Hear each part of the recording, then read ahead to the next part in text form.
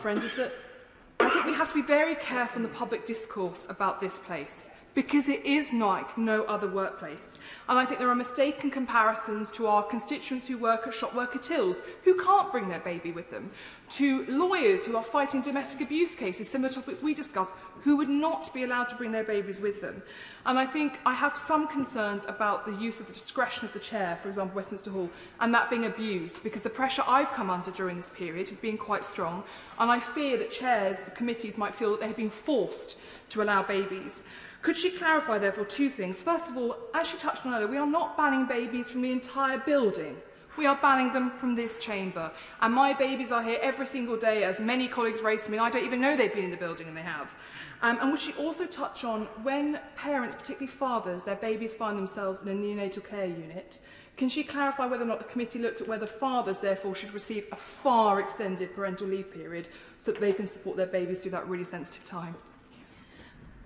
and I thank my honourable friend, and I do want to pay tribute to her for the evidence that she gave, as, as to the honourable lady for Walth Walthamstow, who both gave oral evidence on what is a contentious issue. And I agree with her that the, the, the speakers, the deputy speakers and the chairs have always shown incredible sensitivity and compassion. And um, we have conventions in this House around attending openings and closing, being there for um, the, the was before and speeches afterwards. But I know that the chairs have often used their discretion to recognise that, that, that the timing of a speech may not coincide with the timing of a baby needing feeding and therefore have allowed for the member to have that discretion and, and I do pay tribute